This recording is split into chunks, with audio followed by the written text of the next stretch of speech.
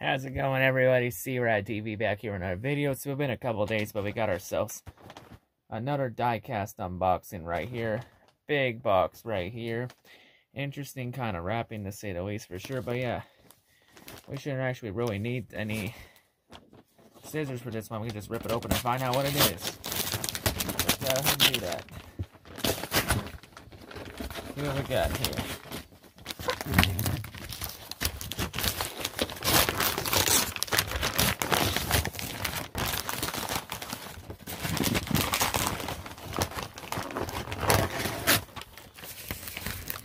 It looks like we got ourselves something in the shoebox here.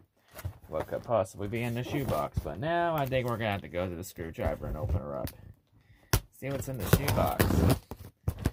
What could it be?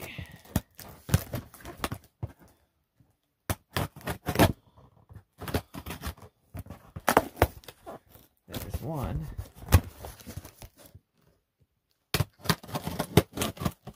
Then there's two.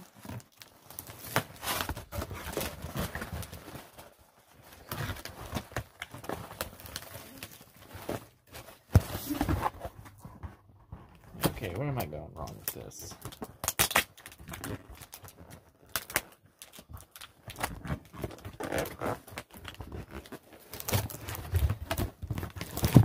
Yeah, here we go.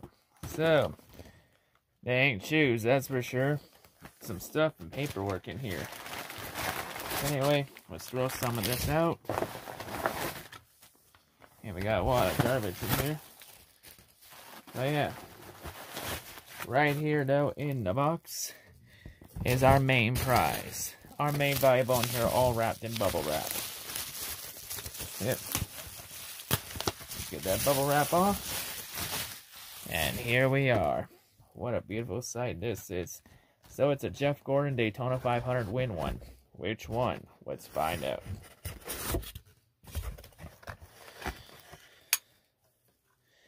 Oh, that's interesting. Usually the cloth's on the other way.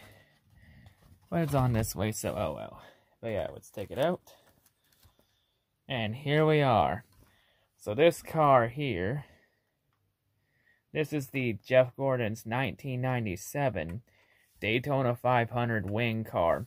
So of course, the 1997 Daytona 500, it was Jeff Gordon's first win in the Daytona 500, the Great American Race.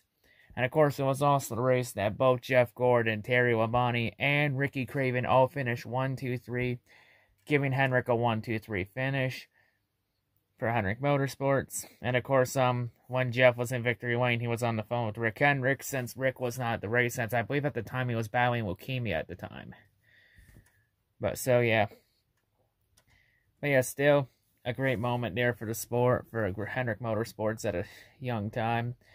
And of course, that win would catapult Jeff Gordon's run that year to a second career championship. But yeah, still, not only Jeff Gordon's first Daytona 500 win, but it was also a big moment for Hendrick Motorsports, but a 1-2-3 finish. That was also also the race where Dale Sr. flipped in the 500, and then Dale Sr. would get out of the car, go in the ambulance, and then he'd come back out of the ambulance, get back in the car, and he'd finish the race with the car that was completely torn to shit and looked like it was ready for the scrapyard.